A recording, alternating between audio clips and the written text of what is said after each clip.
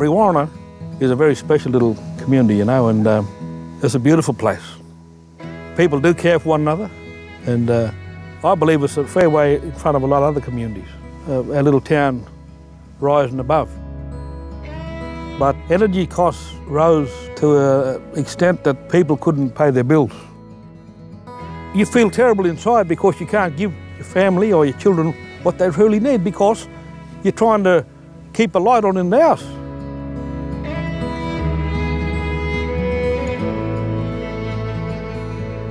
So here we're seeing a solar system go onto Uncle Ikey's roof and it will see his quarterly power bill drop so significantly. I think it's a great feeling.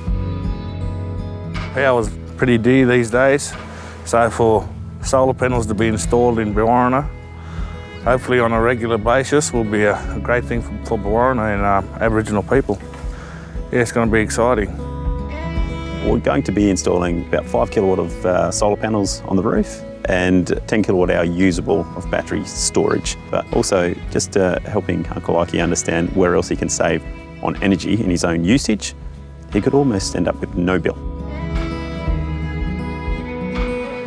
The thing is, there's actually a lot of money that's draining out of this community, which means if we can keep it in the community, there's a lot of money that we can do really interesting things with. So, unsurprisingly, what Australians choose to do is they choose to take advantage of all the sunshine that's falling all around them. Common sense tell you. We probably have no less than five days covered with cloud a year, and the rest is all sun.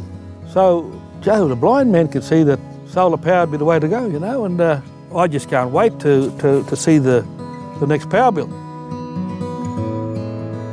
In rural communities like Brewarrina, there's a high percentage of unemployed people, and I think um, bringing something like this solar to Brewarrina and to the surrounding communities would just be, you know, fantastic. And a lot of people out here would put their hand up to have a go. What really excites me about this is we're starting here with this house.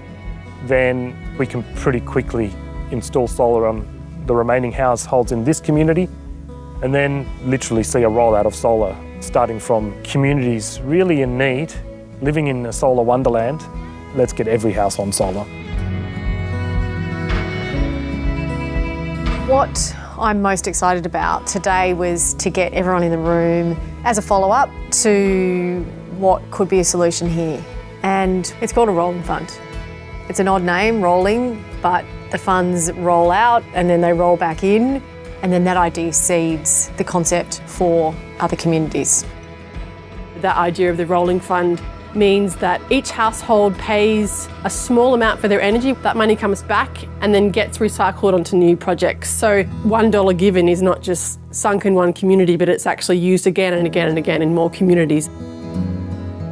In doing all this work, we have hundreds of communities across the country, First Nations communities desperately needing renewable energy. And we got to meet with David Suzuki for the third time. And he said, You've got to get a rolling fund happening, a zero interest rolling fund, you know, and, and it's got to get happening. Well, 12 months later, and our connection with PwC and all our wonderful funding bodies, here it is. Your program will see huge benefits to the Indigenous communities that are able to get these panels installed without having to pay a huge price. And by example, show the people living in the cities and everywhere else look what you can do.